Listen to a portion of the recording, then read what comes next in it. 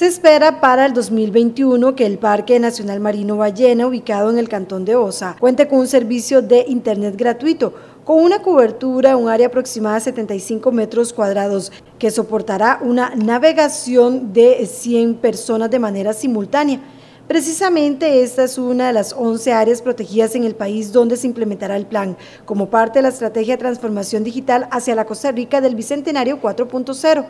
Lo que se está trabajando es la implementación del proyecto espacios públicos conectados, que se financia con recursos del Fondo Nacional de Telecomunicaciones se tomó la decisión de escoger áreas protegidas como el Parque Nacional Marino Ballena, debido a que son visitadas diariamente por cientos de turistas nacionales y extranjeros, siendo un motor de desarrollo para la economía nacional. De ahí que las autoridades acordaron la firma de un convenio de colaboración entre el Ministerio de Ciencia, Tecnología y Telecomunicaciones, el Ministerio de Ambiente y Energía y la SUTEL para brindar acceso gratuito a Internet en los parques nacionales priorizados, fortaleciendo así la calidad de la experiencia en estos espacios protegidos. Cabe indicar que esta es la única área protegida en la zona sur seleccionada para comenzar con la iniciativa.